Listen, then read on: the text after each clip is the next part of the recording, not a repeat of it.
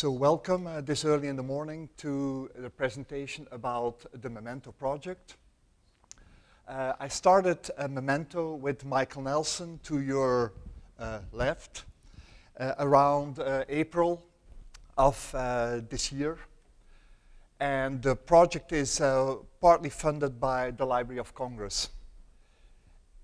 As the months went by, other people on our teams um, started to work along with us, both in creating uh, proof of concept demonstrators to indicate that what we were proposing with Memento is indeed viable, is truly doable, but also at the level of uh, refining the concepts that Michael and I had been uh, developing.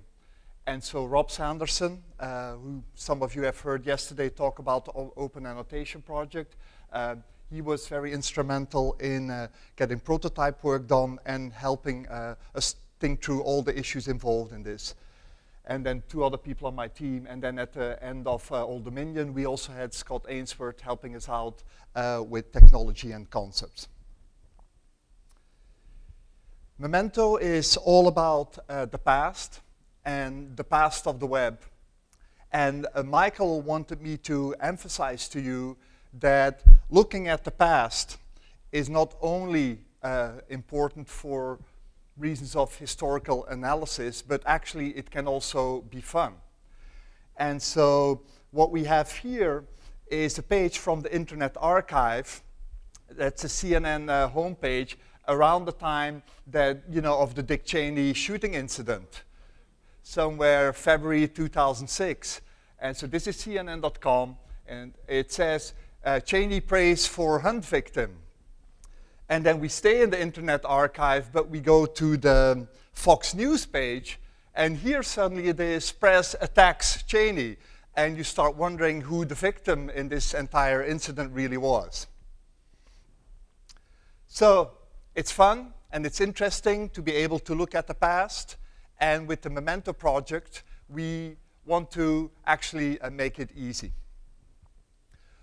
What we're going to do over the next 50 or so minutes is, first of all, I'm going to give you a recap of the essence of the architecture of the World Wide Web, since this is all about the web and how to introduce a time dimension into the web. So we have to know about its fundamentals before we start uh, tinkering uh, with that.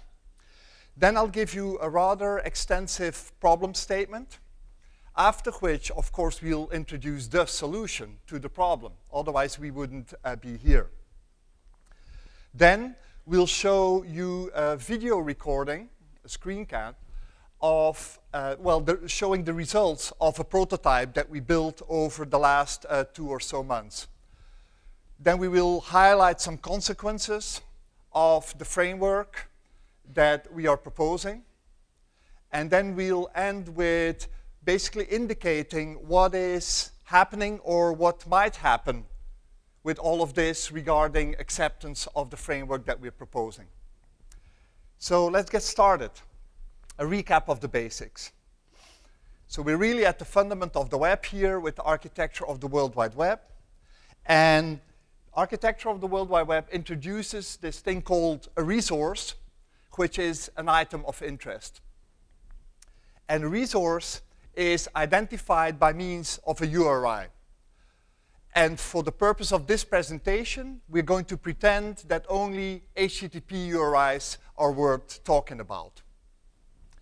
And so we then have the concept of you can dereference an HTTP URI, meaning you can click on it, for example, and the result of that is a representation of the resource that is delivered to your client.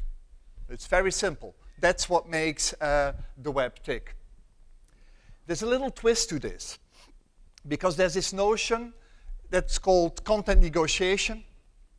And what happens there is that a client, so like your browser, dereferences an HTTP URI by indicating a preference for, let's say, a certain format or a certain language.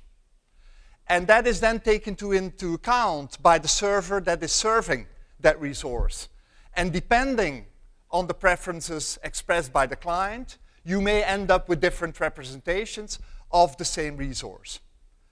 I emphasize this and actually will come back to this because this is actually at the basis of the solution that we're introducing with Memento. So the problem statement. This is supposed to depict the web, and those little nodes are resources, and the little letters you see in them are the URIs, so the HTTP URIs for the purpose of this presentation. And those little arrows indicate that resources on the web are interlinked. Okay? So, as I just indicated, resources on the web have representations, and that's those red and blue little documents uh, that hang off there. As a matter of fact, it's a little bit more complicated than that because representations of a resource change over time. When you go today to CNN.com, you get a certain page. Tomorrow, that page is entirely gone, and a new one has shown up in its place. So the whole point, you know, that they talk about in the web architecture is, you know, you have a resource and a representation. Yes, but those things change over time.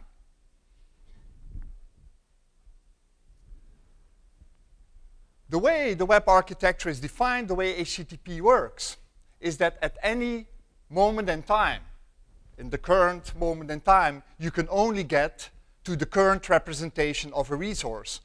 So you type cnn.com in your browser, and what you get back is the page as it exists now. The old representations, the one that was available yesterday, the day before, last year, and the year before that, they're gone forever you can't really get to them.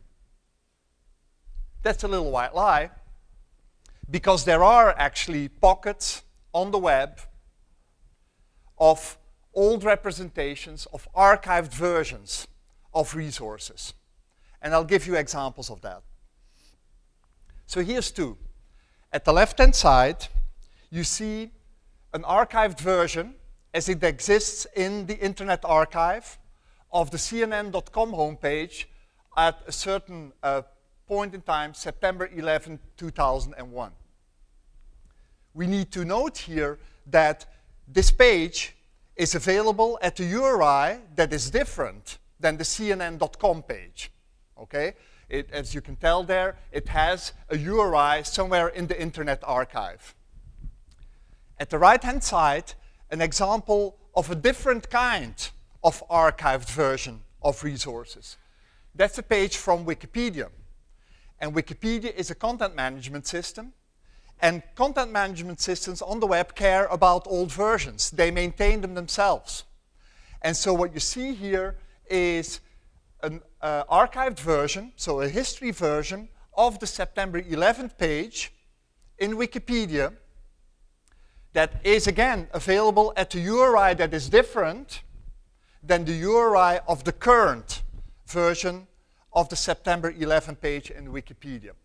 So the point is, these pockets of archived versions do exist, and when they exist, they all appear at URIs that are different from the URIs of their originals. Okay, that's the essence.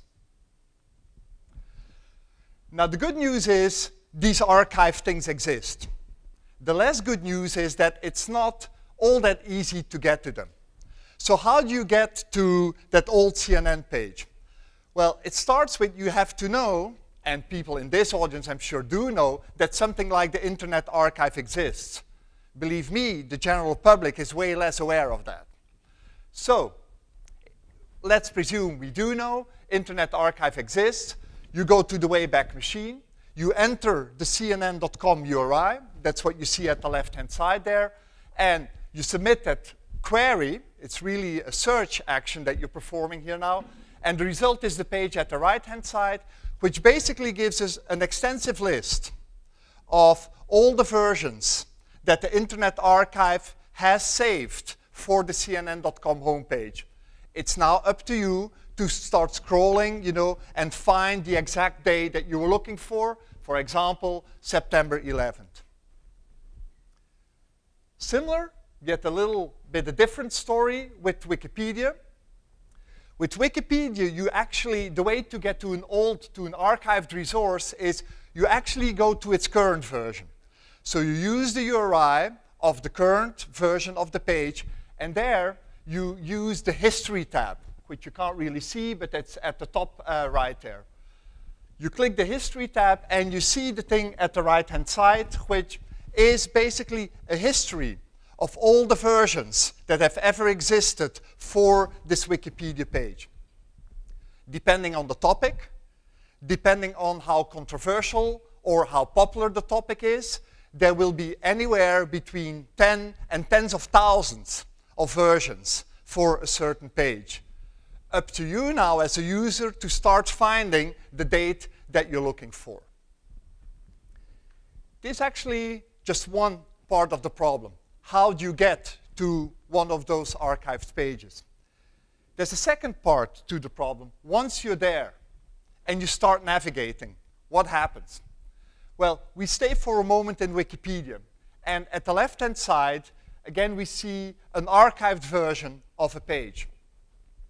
There is a link in there to the Pentagon, and the link is actually to a description about the Pentagon also in Wikipedia. Now what happens when you click that is you end up at the current page for the Pentagon. Now that might be what you want, but it also might not be what you want. If you are really thinking about going back in time and looking at the past, then you would rather have the Pentagon page as it existed at exactly that moment in time as that left-hand page existed. You can't really do that. You have to start your whole history navigation back again in the right-hand side. Different story for the Internet Archive. So here we are again with the CNN.com uh, homepage, and there's a link in there to uh, you know, a page in CNN that is about space, news uh, about space. When you click that, you actually are being pointed back into the Internet Archive. The way the Internet Archive achieves that is by rewriting the URLs that are in that CNN.com homepage. It's obvious why they do that. They're a real archive, and so if they would not rewrite those URIs, you would end up at the current representation of the space page, which in the context of an archive is definitely not what you want. So they rewrite URIs, and you're really now time traveling, and you end up at the right-hand side page, right, which is indeed the space page at the moment in time that we started off there, September 11, 2001. But also here, there's problems. And the problem is, you can see those empty slots. There's a limit to how much an archive can crawl. It has to stop somewhere. And so, as we can tell, it stopped somewhere, and so the stuff is not available to whomever is consulting uh, the archive. Note that the stuff that is missing may very well still exist on the web. It may be in another archive, or it may actually still be in the original site. Okay? So it's not necessarily gone. It might still be there, but we are not getting that complete experience, you know, in the way things are architected now. So this is the problem statement at large, really. And to summarize it, we can say that the current web and the past web are not tightly integrated. And there's two instances to the problem. One is that you can't really easily get to the past from the present. As I've shown you, that becomes a search kind of exercise or a navigation exercise. And you can't really navigate the past in a consistent way either. So those are two problems, and those are the two that we're trying to address uh, in Memento. So this is what we try to do in Memento, and what we'll explain how we want to do it. We're going to say, well, if you're interested in an archived version of a Wikipedia page, just talk to that Wikipedia page. Use its URL, but qualify your request for that page with the datetime, as you see there. Submit that request, and as a result, you want to immediately receive the page, the history page from Wikipedia, you know, the page as it existed at the moment in time that you were requesting for. You want to continue your navigation in that way. There's a link there to the robots exclusion protocol. It's a link inside of Wikipedia. So it's a Wikipedia URI. Again, we're going to do the same thing. We're going to talk to that resource with that Wikipedia URI of the current version, but we're going to qualify our request with the datetime. And as a result, we're going to get back that page for robots exclusion protocol as it existed at that moment in history. And just one more navigation here. There's a link to an external site here in this Wikipedia document to robots exclusion, the website as a matter of fact. And again, we're going to qualify that with time. So we're going to go to uh, robotstxt.org, but we're going to qualify our HTTP request with the datetime. And in this case, what we get back is a page from the Internet Archive, you know, and the most recent one that we can get there seems to be November 9, 2007. All of this can work rather smoothly, as I will show you, but you will of course understand that it's all subject to the availability of archived resources. If they're not there, Memento isn't going to do any wonders. However, if they're there, and if the Memento framework is implemented, you're going to seamlessly get to those old uh, pages. All right, here's how we do this. This is where start starting to get a little bit uh, more technical. There's really two components to the solution. The one clearly, the first one, clearly being more important and more fundamental than the second one. So I'll spend more time on the first one than on the second one. So the first is, in order to get to an archived resource, we're going to talk to the URI of the original resource. And then we're going to use a notion called content negotiation, which I'll explain, to get to archived versions. That's the first component of the solution. The second part is a discovery API. Basically, we are proposing an API for archives of web resources that allows us to ask for any given resource, so for a URI, what are the archived versions that you have? And at what datetime were they archived? And a little more than that, but that's basically the essence. So let's talk in some detail about the first component. Just to make it totally clear, what we're trying to do is, here's a slide of the current situation. At the left-hand side, we see the original resource, and it has its own URI, URI-R. You want to get a representation of its current state, you dereference URI-R. At the right-hand side, we have the archived resources. Okay? If you want to see them, you have to actually dereference another URI. So the good news is these archived resources exist. The bad news is that in order to get to them, you have to use a different URI than the one by which they had been known throughout their lifetime. This is actually really weird if you come to think about it. Okay? So what we're saying here is, well, no, let's change this equation and let's get to the archived resources via the original resource. As a matter of fact, I was reminded by David Rosenthal, who's also in the audience, that they pioneered this kind of approach also in the context um, of the LOCKSS uh, project. Here what we do, we talk to the original resource, but we qualify our request with the datetime. And then, beyond that, some magic is going to appear, which I'll explain to you, that will seamlessly bring our browser to an archived version.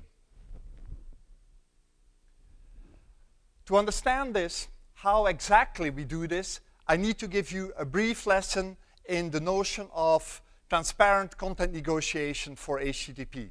It won't be hard, I promise. So what we have here is a very basic, your most basic HTTP interaction. At the left-hand side, the client. At the right-hand side, the server. And then the little node there is a resource with URI, HTTP URI A. And turns out that this resource is an HTML document in English. So it's one of those good old-fashioned resources on the web. So our client says, get a, you know, under HTTP you want that so it's an HTTP GET request, and the server comes back, yep, 200 OK, here it is, and as a matter of fact, it's uh, text HTML and it's English, and the location is A. This happens all the time. This is your most basic thing. Now here's transparent content negotiation. What happens here is the following. Rather than only having resource A, you know, which is the resource in HTML in English, there's another resource B which represents the same information in PDF in English, and a third resource C that represents it in PDF and French. And what happens with content negotiation is that there's this new resource, T, that is being introduced, that is kind of a gateway resource. It's a resource that you can talk to to get to any of A, B, and C. So you do your talking not to A, B, and C directly, you do your talking to T.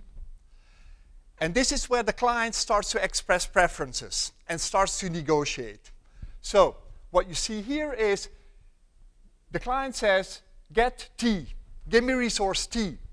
But it qualifies the request by saying, I have a preference for HTML rather than PDF. And I have a preference for English rather than French, and absolutely rather than German. Okay? The server gets this request, looks at the client's preferences, and then says, well, you know what? I understood you. That's the Vary header there. I understand that you're negotiating with me in the, in the dimension of format, the media type, and language. And TCN, I made a choice for you because I can deliver exactly what you wanted. You wanted English HTML, I have it. And it's actually available at location A. So that comes back to the client, and now the client does another request, just like the, the basic HTTP request. It says, give me A. And the server responds, here's A. That's transparent content negotiation in brief. This wasn't too hard, right? Okay.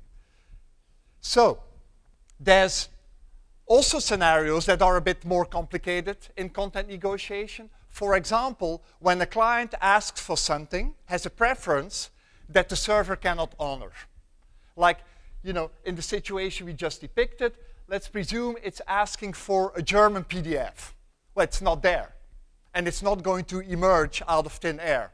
So in that case, the server is going to say, you know, I understood you. I understand what you're trying to get from me, but I do not have it. And so in that case, it says 406, not acceptable, but I can point you at alternatives. I have A, B, and C for you. Okay? Right, we are now ready to finally talk in a bit more detail about Memento.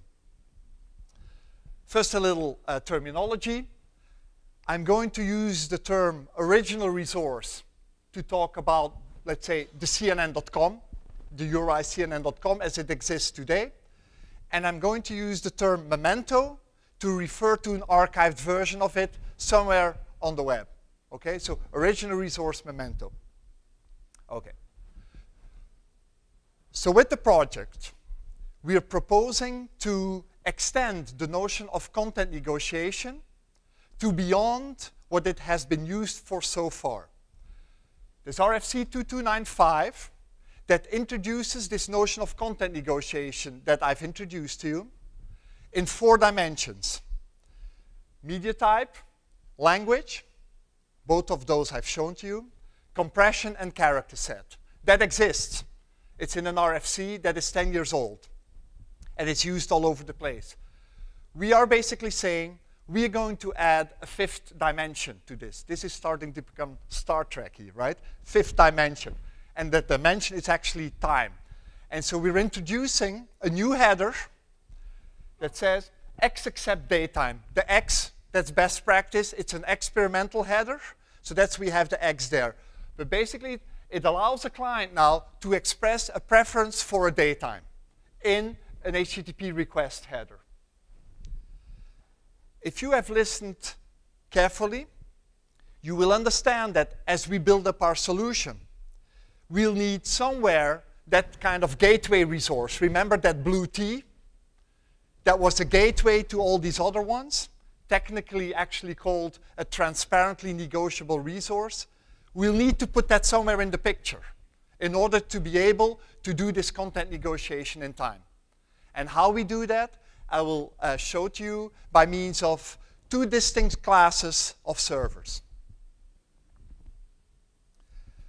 First one is actually servers that have internal archival capabilities.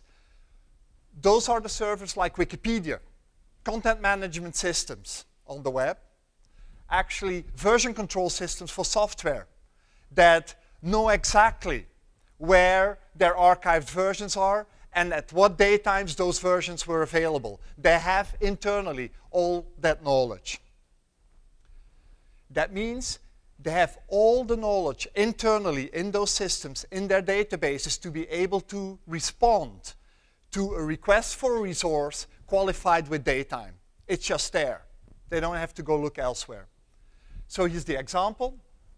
Left-hand side, current page of Wikipedia for the 9-11 uh, event. Right-hand side, old versions of them, each of which at their own distinct URI. Using our own language, at the right-hand side, uh, left-hand side, sorry, we have the original resource. At the right-hand side, the mementos. In this case, the approach is rather trivial because here you can use the original resource itself to negotiate in time. Because all the information to do so is available locally in this content management system.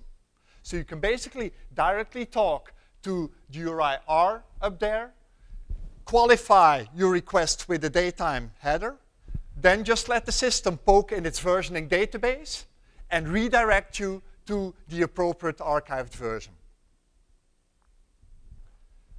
I need to introduce another piece of terminology here. We're going to use the term time gate, again, Star Trek, to refer to a resource that supports this content negotiation in time. It's basically a resource that understands this X-accept datetime header. Okay? So, for this case of servers, these kind of content management uh, systems, what we have is that the original resource up there and the time gate coincide. They're the same thing. Okay? There's no need for a, distinct, a distinction between the two. Okay, so we solved this one, as a matter of fact. Here's the depiction. Won't go into detail. Just follow the one, two, three, four. What happens there? In one, the client says, give me the resource, you know, the Wikipedia page, right? But don't give me the current version with the x accept datetime, I indicate I want an old version of uh, somewhere October 2009. Just as was the case with those other transparent content negotiation examples I gave you for media type and language, we're now going to have a server that says, I understood you, and I can 100% honor your request. The memento that you're looking for is at URI M2. The client says, good, I'm in business. I know what to do now. I'm getting the URI of that memento, and I receive the old uh, resource back. This is done. Again, there's obviously more complicated scenarios. For example, what happens if a client requests a resource for, uh, you know, that is outside of the datetime range for which a, an archive has archived resources? That's all dealt with. It's on our website. We don't have time to go into those details. That was one class of systems. Those were the content management type systems that have internal archival capability. Now we're going to other systems. Basically the bulk of the web servers out there that rely on third parties to come archive them. For example, they rely on the Internet Archive to control them, you know, and basically suck up their stuff and push it into an archive, you know, the bulk of the, the systems. These systems do not have the information to, by themselves, respond to a request for datetime content negotiation because they have no clue where the archived resources for their own resources are out there on the web, nor for which datetime they were archived. right? Because the archiving happens independently of themselves. Still, those systems can play a constructive role in the framework because although they may know, not know the exact URIs of the mementos, they may know in which environment they're available. For example, in the Internet Archive. Okay? So here's what we do in that case. Left-hand side, there's a you know, regular kind of web server. Right-hand side, there's archived versions of the server's uh, page. You know, the line in between them uh, indicates those are really different systems that hardly know about each other's uh, existence. So, how are we going to address this? This is kind of a bit weird now, right? Well, let's focus on uh, the right-hand side. Well, first of all, we know the left is original resource, the right is mementos. The focus on the right-hand side, then you'll see that that, that right-hand side is a system with internal archival capabilities. It knows about its archival things because it's an archive, right? So here, we can play the game that we played with the first system. And we say, we're introducing a time gate here, right? We have all those mementos, each with their own URIs. We're going to put the gateway resource in front of that, the time gate, and we're going to negotiate with that one in time. And as a result of that, I will get the appropriate one that it was the operational one at that moment in time. We still have another problem. How are we getting from R to G? From the original resource to the time gate? Well, we're solving that by means of a basic HTTP redirect. And the redirect is based on merely detecting the X-Accept datetime header. It's a binary thing. If the header is there, redirect to a time gate at some external archive. If it's not there, perform as usual. There's nothing more, nothing less going on here. Implementing this, for example, for an, for an Apache server, takes exactly three lines to add to the Apache config file. That's it. There's no uh, magic going on here, really. So, we kind of have a solution for these types of systems also. But there's still two kind of problems lurking here for this class of system. First of all, which archive are you going to redirect to? Right? There's all these archives out there. Which one are you going to pick? Well, it's not a very technical, it's much more a policy or kind of knowledge kind of uh, uh, decision to be made here. If you have, like we had in our experiment, the transactional archive that keeps a very fine granularity record of what was ever served by your original server, well, you're going to redirect to that one. If you're in Finland, you know, then probably you're going to redirect to the Finnish archive. If you're in Denmark, to the Danish archive, Canada, the Canadian, and all the rest of the world just points at the Internet Archive. There's always something to point at. It can get more subtle than this, obviously. It could very well be that your videos are archived in system X, and your images in system Y, and your HTML in system Z. You know, that's just a little test that has to happen, and you redirect to the appropriate environment. So that's, I don't think this is a big deal. Second one is, okay, we are saying we're going to redirect to an archive. That's fine. But we still need the URI of a time gate in that archive. We can't just redirect to the Internet Archive URI. You need some specific spot in the Internet Archive. And that is something that we propose to solve by means of a syntax convention you know, to express the URI of a time gate as a function of the, the URI of the original. And you see the example there. This is not far-fetched because already today, systems that are based on the Wayback Heritrix solution for uh, web archiving use URIs like this. The big index page that I showed you earlier on that had all those links to past versions of uh, the CNN.com page.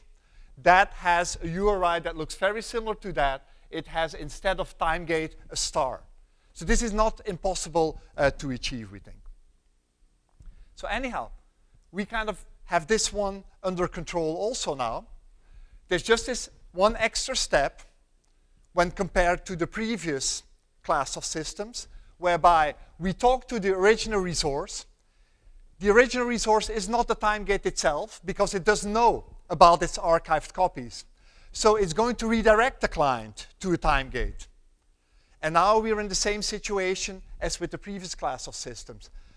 The client talks to the time gate with the qualification for datetime, and the time gate says, I understood you, and th there is the resource that you're looking for.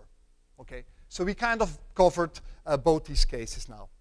And again, there's uh, special cases that we don't have time uh, to mention. Component two is basically an API that we propose Web Archive should implement.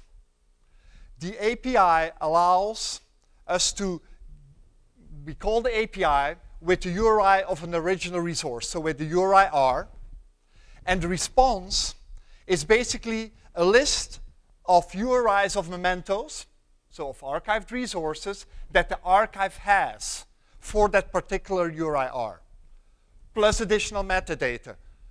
At which point in time was this thing, this memento archived? What's the media type of it? What's the language of it? Maybe what's the digest? You know, you can add all kind of metadata. We don't care about those details here. The point is that if you have multiple web archives that support this URI, you can build an aggregator of that stuff. That aggregator will now have a much better understanding of all the mementos that are available across the web. Okay? Not just in one archive, but across archives.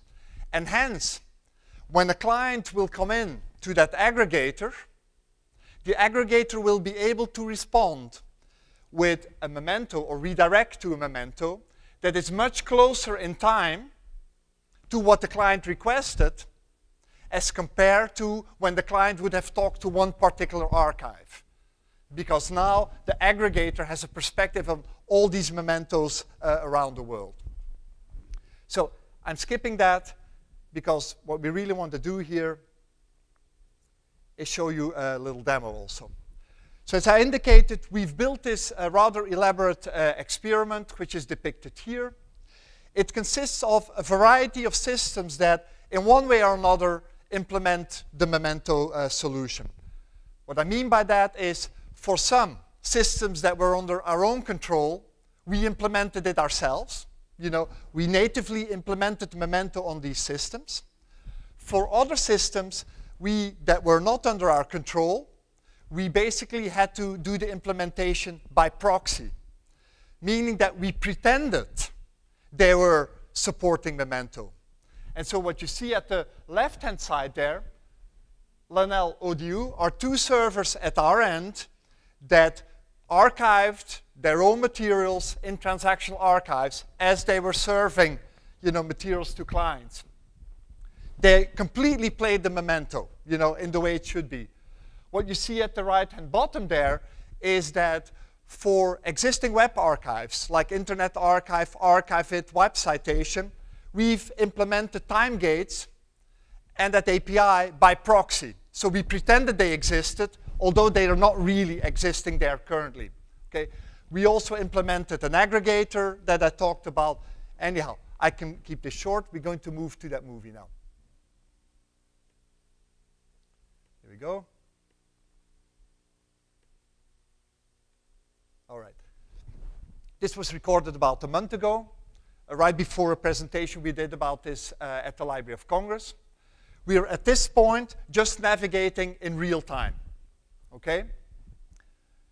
So we're not time traveling. What we do here is we pull up one of those pages that we set up for the experiment, picture of myself and picture of Michael, and you see the timestamps up on the pictures there, and also the timestamp of the HTML page.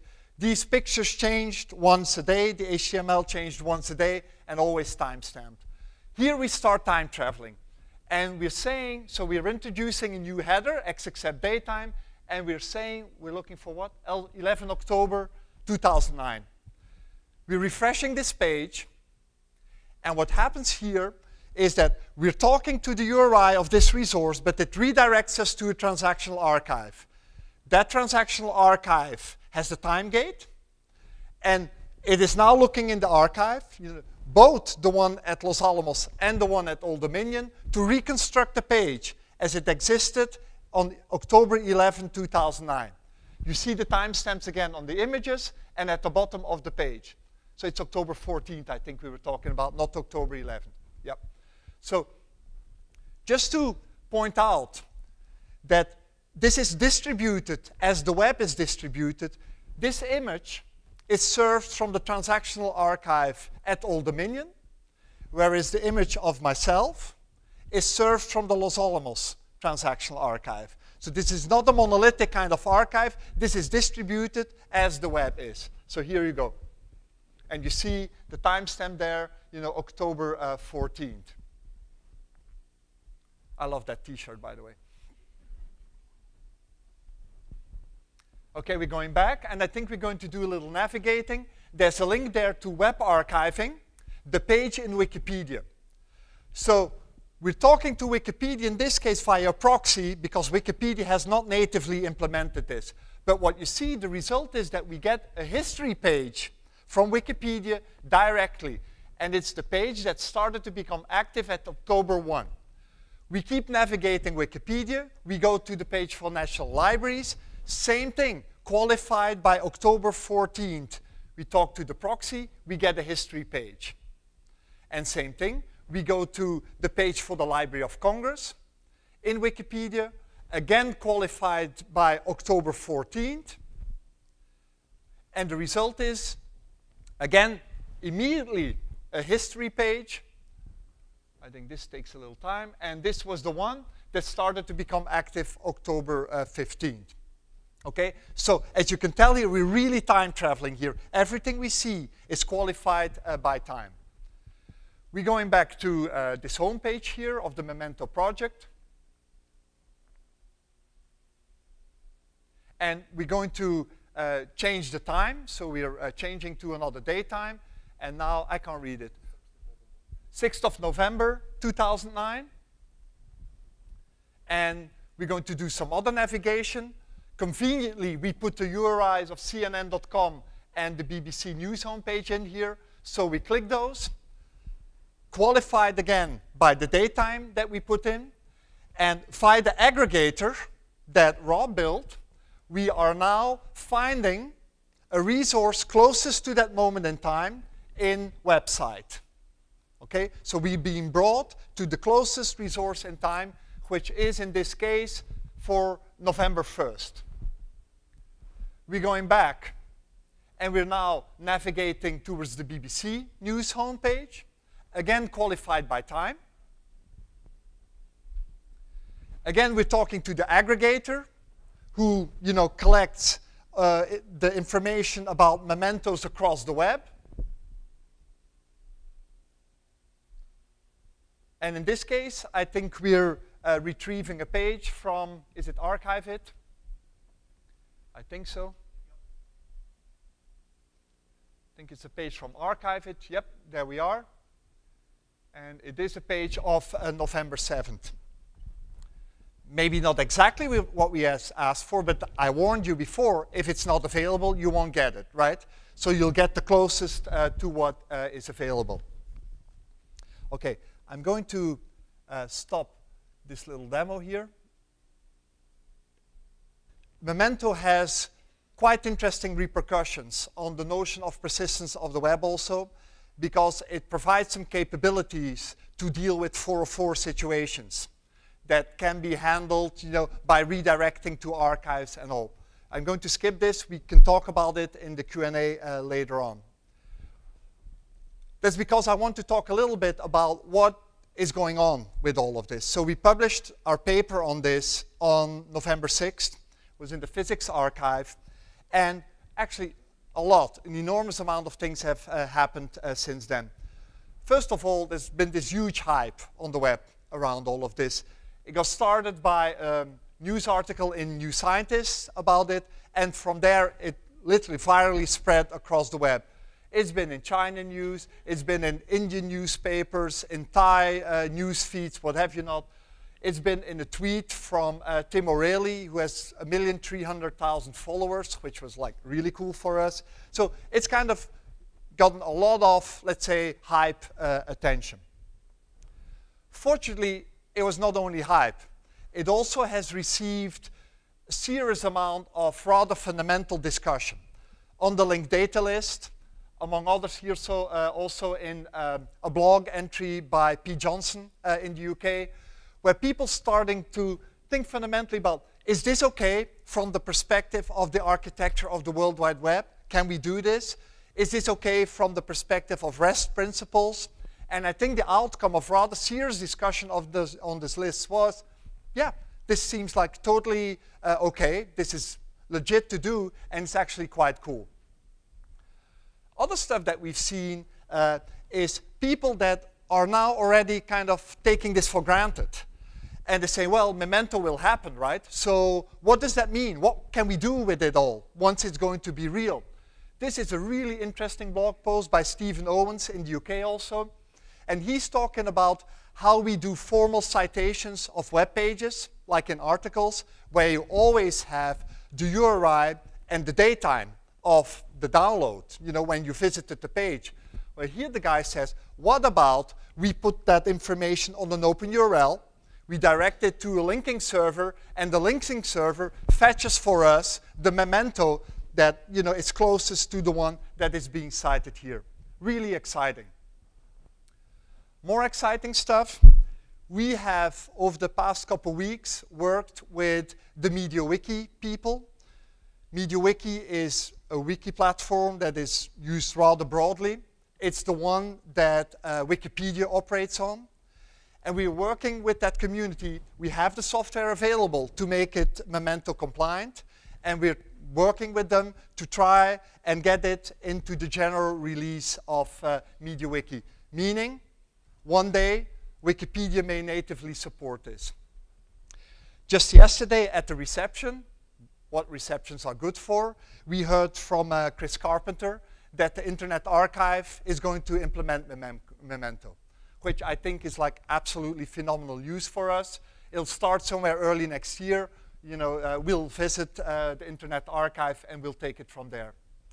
And then thanks to the great connections that Rob has uh, in the UK with JISC, uh, they decided to fund one of those developer competitions uh, around Memento. And so this will all be about, well, here's the Memento concept, here's the money, you build us a really interesting prototype demonstrator of what can happen when this actually happens for real. That's end of February. Rob will be there, and we hope to be able to uh, get Michael uh, to attend there also. Since this is about uh, coding, this is totally out of my league. I would also ask you or people at your institutions to contribute to making this happen. I hope you agree with me, this is rather cool kind of concept.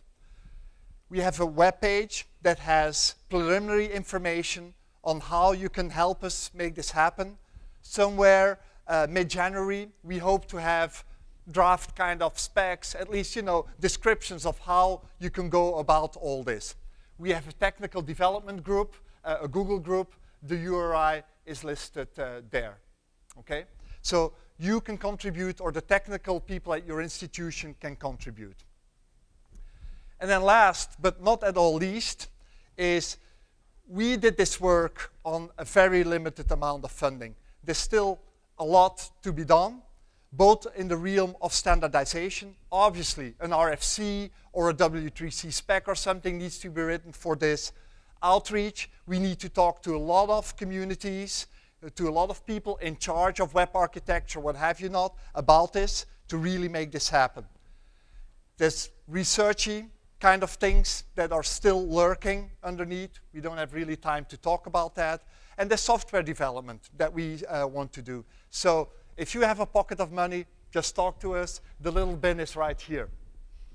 Okay, I hope you enjoyed this, and we can open it for questions now. Thank you.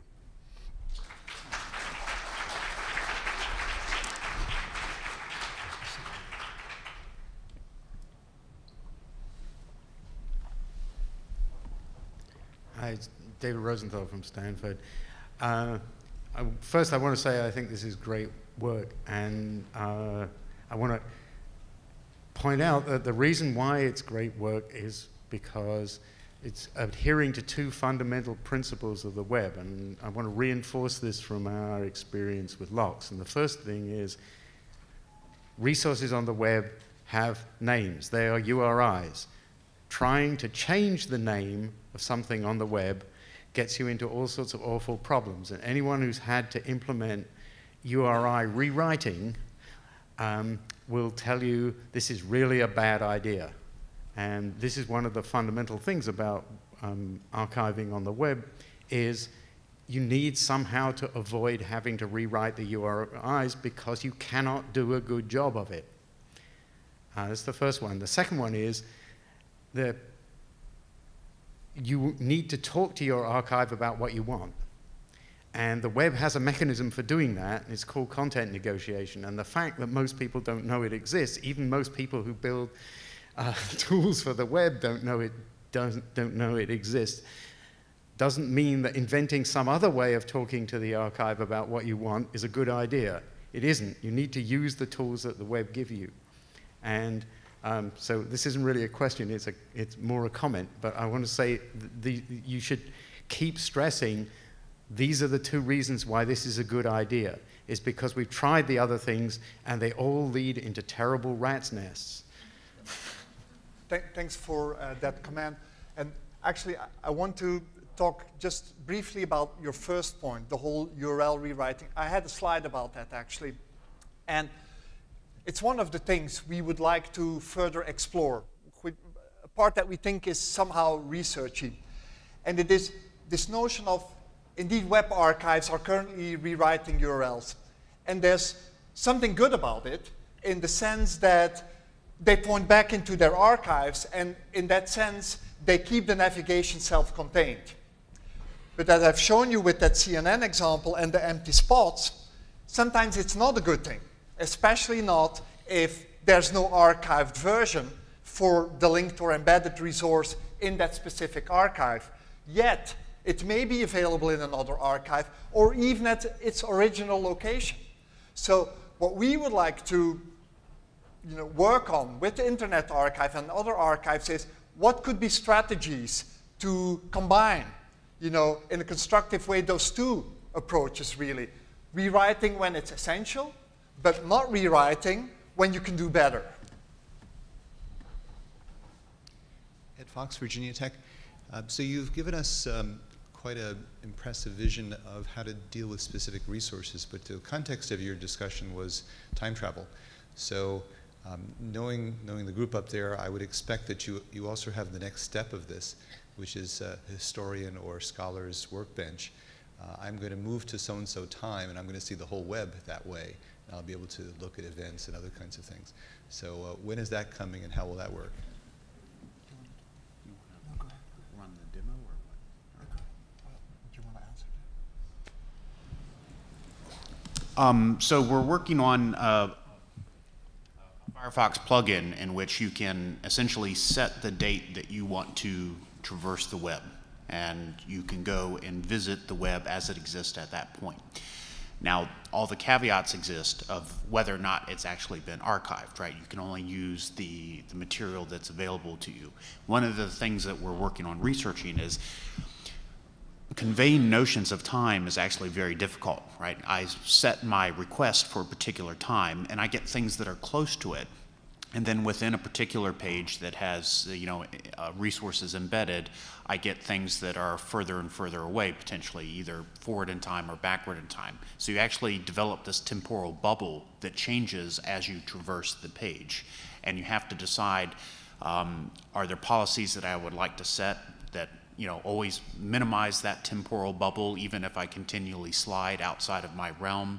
Do I want to not have any resources before or after a given date? Uh, if you have a particular epic that you're, you're interested in and you don't want to see things before or after that, there's actually all kinds of interesting policies that one would have to deliver and also come up with the user interface mechanisms to actually convey to the user what's actually occurring. So that's future work, future resources to try and convey to the user what's happening as they go back in time. just before you ask your question, uh, for those that are interested, Michael has just yesterday evening recorded another demo that illustrates this Firefox plugin that we're working on. So for those interested, stay after the Q&A, okay? And Michael can uh, run you through that one also. Nathan Lambert, Case Western. Thinking about acceptance and, and how you would gain mass appeal uh, for this, this type of concept, that, I mean, there's really only one central solution in place where all traffic filters through, and that's DNS. Have you thought about this whole rewrite URL negotiation at the DNS level where you were able to take that traffic past your headers, past your time gate type of headers, and uh, try to identify at that point where someone might actually try to be going without having to do local imp or implementations at the local level for each individual website. Uh, DNS would give us the granularity that we want. Um, I mean, we could swap host names around, but I don't think we could figure out exactly what the rest of the URI is. Um, so some of the, the archives that you see, like Internet Archive is sort of predictable about what the structure is, but other web archives like webcitation.org, they have completely different syntax. I don't think we could, I'm not sure we could do DNS tricks to get to those things. But uh, we haven't really studied it, but I don't think it would do what we want. Other questions? Michael, you want to? Yep. Sure, yeah. So for those interested, Michael is going to give you another uh, demo. Uh, which one is it? This